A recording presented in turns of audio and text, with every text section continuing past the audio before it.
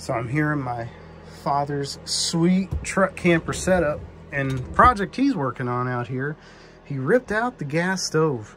Uh, they don't ever use it for their long-term camping adventures.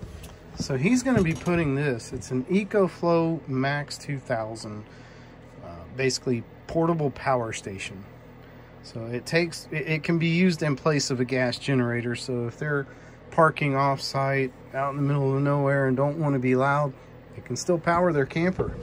So what I did was help him figure out a wiring solution to hook it up to where they can not only power the camper, but have a couple of options to charge it from the camper, kind of making it more hands off. So we put in these two outlets here.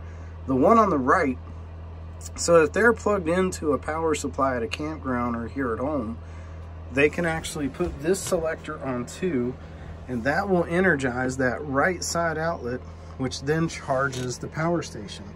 If they put this selector on one, it then energizes that left outlet which allows the power station to power the camper.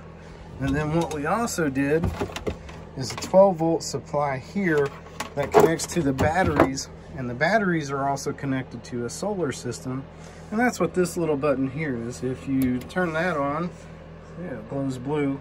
That means the power station will now accept a charge from the battery and solar system. It's pretty sweet.